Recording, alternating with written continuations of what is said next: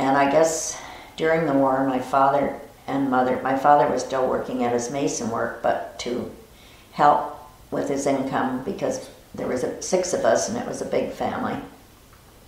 He uh, took over the um, concession at Simcoe Park that had a dance hall and a refreshment booth, and he they sold hamburgers and hot dogs, and we had orchestras on Saturday night play in the um, in the bandstand, and on Wednesday night they had a jukebox, and, and people came and danced, and my dad did that until just after the end of the war. I don't know who took over from that because when we had Hurricane Hazel, um, the top of the water tower blew off and it smashed the dance hall. And so the town never rebuilt that area, so Simcoe Park doesn't have that now.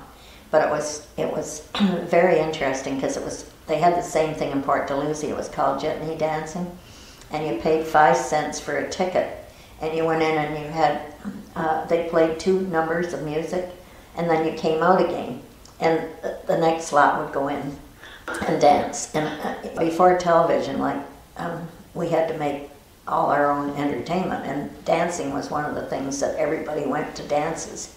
and also in the in Simcoe Park, they used to have um, uh, sing songs, but this was more during the war, and it was to keep people's spirits up. And uh, uh, Charlie Haynes, he he he was the choir master at St. Andrew's Church, and he used to conduct these sing songs, and it brought people for miles. There used to be cars all over the place, and people either participated singing or they listened to what was going on.